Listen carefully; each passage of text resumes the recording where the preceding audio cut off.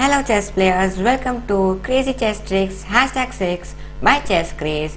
You are here with Karan Parikh and today we are going to see a very easily trap which I used to play when I was a beginner and most of my opponents used to fall for it.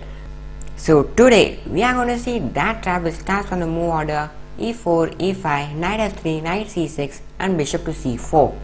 In this trap we are black and we play the move knight to d4. This is also called the Blackburne Shilling Gambit because here if you could see that this knight on c6 was a defender of this pawn and by playing knight to d4 we take out the defender and hence this pawn hangs. So from here what do many white players do is just grab this pawn. But here this was the mouse trap. Why? Because we play the move queen to g5 because this also gives white a knight fork by playing knight takes f7. He forks a rook and the queen, but we surprises him with the move queen takes pawn. Now if the knight takes our rook, then he is just mated. How? Because the queen takes the rook, check, the king can't go anywhere because of the knight and the queen, so the bishop has to come in between. Then queen takes pawn check, now also the queen if the queen comes then we take from the knight and we win the game. And also if the bishop comes in between the knight takes c2 check. Now here the queen can't take because our queen will take the queen.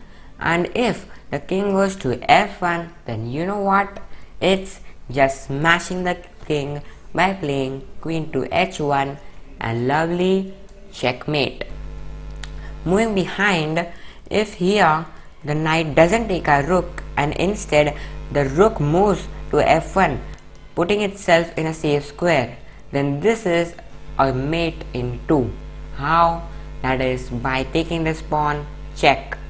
Here once again if the queen comes in between the knight will take the queen a free queen. And if the bishop comes in between then knight to f3 is just a lovely lovely lovely smothered mate the king can't go anywhere and the bishop is pinned via the queen and hence this is a lovely checkmate. Moving behind, if here the knight doesn't take the pawn and instead the bishop takes it, then we can simply go king to e7.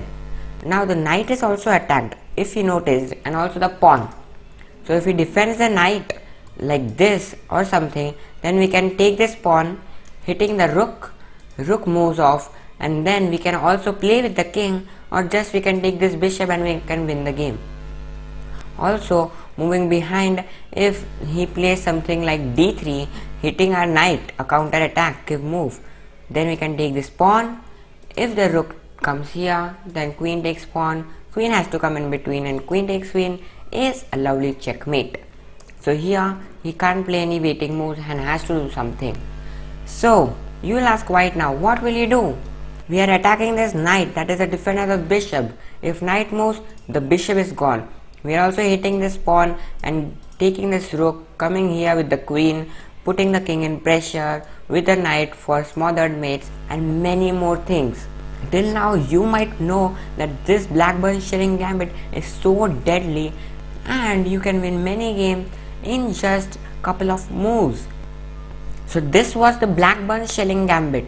I hope that you like this trick, crazy chess trick and you will also try this in your chess games. If you have ever tried this before or you have tried this after seeing this video and you were successful then please post your comments in the comments below and also you can like the video, subscribe to my channel, place on the bell notifications so that you get notified for all my upcoming crazy chess tricks.